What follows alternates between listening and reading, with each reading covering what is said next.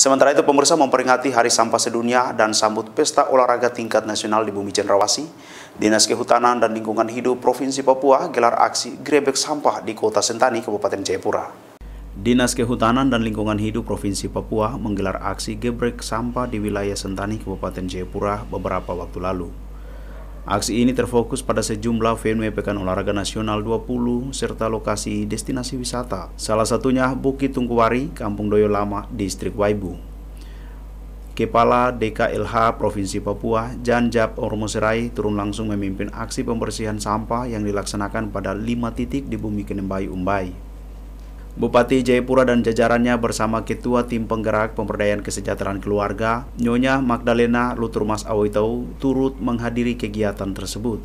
Gebrek sampah yang dilakukan pada lima titik ini melibatkan tim Dinas Lingkungan Hidup Kabupaten Jayapura, TNI Polri, aparatur sipil negara, anggota LMRRI wilayah Papua, serta komunitas pecinta lingkungan. Kegiatan pembersihan pada sejumlah lokasi ini dalam rangka memperingati Hari Sampah Sedunia serta menyambut event Pekan Olahraga Nasional 20 di Papua.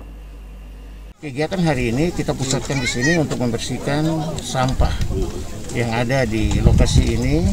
Terutama kita bisa lihat ini sampah botol, plastik ini sangat banyak. Karena itu hari ini kita sekaligus memberikan pelajaran, pembelajaran kepada warga kita untuk ketika berkunjung ke tempat-tempat wisata untuk memperhatikan sampah. Sampah jangan dibuang sembarangan, tetapi sampah dibuang di tempat sampah yang tersedia.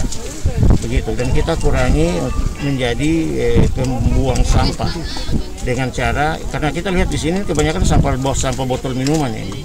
Oleh karena itu biasakan untuk tumbler sendiri tempat minum sehingga kita tidak ikut serta menambah jumlah sampah.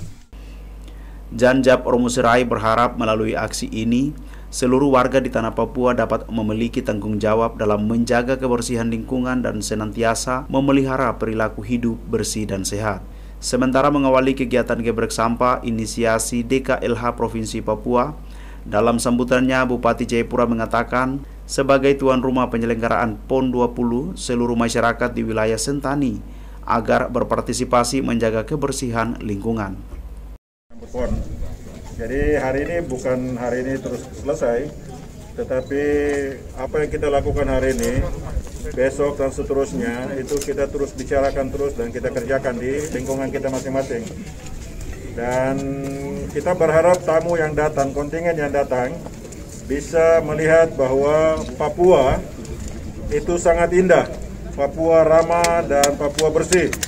Ya, itu tuan rumah yang baik memang harus kita tunjukkan lingkungan kita untuk orang lain datang untuk bisa menikmati. Saya pikir itu dan hari-hari ke depan menjadi tugas kita semua untuk di semua eh, lingkungan kita jaga uh, kebersihan dan uh, kedamaian di sekitar kita. Matius Awitau juga berharap masyarakat Kabupaten Jayapura dapat melaksanakan aksi bersih sampah pada sejumlah fasilitas publik seperti lokasi venue dan destinasi wisata sehingga pengunjung tidak terganggu dengan sampah yang berserakan.